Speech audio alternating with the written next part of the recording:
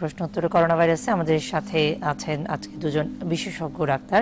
আছেন doctor G U Ahsan জনস্বাস্থ্য বিশেষজ্ঞ এবং আছেন ডাক্তার শফিউল্লাহ প্রধান। আপনাদের দুজনকেই আবারও স্বাগত জানাচ্ছি আমাদের আজকের আয়োজনে। ডাক্তার শফিউল্লাহ প্রধান আপনি নিশ্চয়ই এবার আমাকে শুনতে পাচ্ছেন? জি শুনতে পাচ্ছি। আচ্ছা আমার জানার বিষয় হলো যে আমরা জানি যে বাংলাদেশের সংক্রমণের মাত্রা বাড়ছে বা অনেকদিন ধরে একই অবস্থা আছে। বাড়ছে বলব না নতুন রোগী ইয়া হার কম হলেও আমি ইয়া নয়েজি সাউন্ডটা একটু ক্রেকিং আচ্ছা আমি একটু ধীরে বলছি দেখেন আপনি আসলে প্রশ্নটি বুঝতে পারেন কিনা। আমার জানার বিষয় হলো যে ঈদকে সামনে রেখে আসলে এই সময় আমাদের বাড়তি সতর্কতা কি নেওয়া উচিত? আমরা কি প্রশ্নটা যেটুকু বুঝতে পেরেছি যে আমাদের এখন এই ঈদে বা এখন বর্তমানে করণীয় কি এটি জানতে চেয়েছেন? জি, জি, ধন্যবাদ আপনাকে। আসলে বাংলাদেশে বর্তমানে অনেকগুলো দুর্যোগ একসাথে কাজ করছে। নাম্বার ওয়ান এই যে Covid ninety one induced health problem সেটা সারা ওয়ার্ল্ডে প্যান্ডেমিক অবস্থায় আছে। আর একটা হচ্ছে আমাদের কিন্তু এখন বন্যা, সারা দেশে, আপনারা জানেন, সারা দেশে বন্যার পাশাপাশি আমাদের পবিত্র ঈদুল আজহা উপস্থিত। এই এক তারিখে হবে ইনশাআল্লাহ। তো এই সবগুলা মিলে আমাদের বাংলাদেশটা একটু বিশ্বের অন্য দেশের তুলনায় একটু ভিন্ন। সো আমাদের যেটা করতে হবে, আমি একজন চিকিৎসক হিসেবে প্রথম বলতে চাই, আমাদের যে সোশ্যাল ডিস্টেন্সিং মাস্ক ব্যবহার করা ফিজিক্যাল ডিস্টেন্স মেনটেন করা হ্যান্ড স্যানিটাইজার ব্যবহার করা বা হ্যান্ড ওয়াশ করা, এই যে বেসিক কথাগুলো আমরা বলে আসছি, আমরা যে যেখানে যেভাবেই থাকি না কেন, সেটা অবশ্যই চেষ্টা করব। অবশ্যই মানতে হবে। চেষ্টারও ব্যাপার না এখানে। আর দ্বিতীয়ত, যতদূর সম্ভব একেবারে না হলেই নয়। তাহলেই মনে হয় ঈদের জন্য ছুটাছুটি করা উচিত বা গ্রামে যাওয়া উচিত। আমার মনে হয় এইটাও আমরা একটু স্যাক্রিফাইস করা দরকার।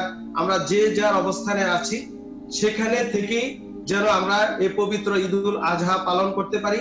এতে বাংলাদেশের জন্য আরও বেটার একটা আমরা ভালো একটা প্রসপেক্ট পাবো। বিকজ আপনারা যদি দেখেন, সারা ওয়ার্ল্ডের অন্য দেশের তুলনায় আল্লাহর অশেষ মেহরবানিতে বাংলাদেশে কিন্তু প্যান্ডেমিক সিচুয়েশনটা অত খারাপ না।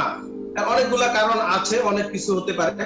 আরেকটা এখন কিন্তু আমাদের এই করোনার পাশাপাশি যে ইয়ে- বন্যা হচ্ছে, এই বন্যায় বিভিন্ন উদরাময়, ডায়রিয়া, কলেরার মতো বা স্কিন ডিজিজের মতো, চোখের বিভিন্ন রোগের মতো, পেটের পীড়ার মতো কন্টাজিয়াস ডিজিজ কিন্তু স্প্রেড করতে পারে। সো আমার মতে আমরা যে যেখানে আছি সেখানে যদি থেকে নিজেদের অবস্থানটা ক্লিয়ার করতে মানে নিজের অবস্থানটা ধরে রেখে আমরা যদি মুভমেন্ট করি সেটাই সবচেয়ে ভালো। এতে আমাদের এই ছোঁয়াচে রোগগুলো ওভাবে বাড়বে না স্পেশালি কোভিড আক্রান্ত যে স্প্রেডটা বা ছড়িয়ে যাওয়া। সংক্রমণ তুলনামূলক কম বাড়বে এবং অন্যান্য যে রোগগুলো হচ্ছে এই বন্যার কারণে সেগুলো আমরা আহ, হয়তো যদি আমরা সচেতন থাকি আপনি বলছেন যে সেটি আমরা নিশ্চয়ই প্রতিরোধ করতে পারব। আমরা জানি আপনার প্রিয়জন আপনার জন্য কতটা গুরুত্ব বহন করে। আর তাই সঠিক ডায়াগনস্টিক রিপোর্টের জন্য আপনারা আমাদের কাছেই আসেন। আমরা বিশ্বাস করি প্রপার ডায়াগনোসিস কনসালটেশন পেইন ও প্যারালাইসিস চিকিৎসা, পুনর্বাসন আমাদের সব আয়োজনই সব সময় আপনাদের জন্য চব্বিশ ঘণ্টা খোলা।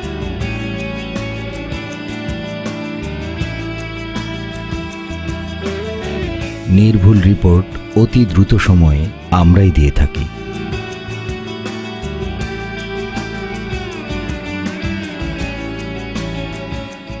আমরা চাই না আপনারা বারবার আমাদের কাছে ফিরে আসুন তবুও আমরা আছি সব সময় সর্বদা আপনাদের পাশেই। DPRC hospital and diagnostic lab আস্থা বিশ্বাস ও নির্ভরতায় অবিচল।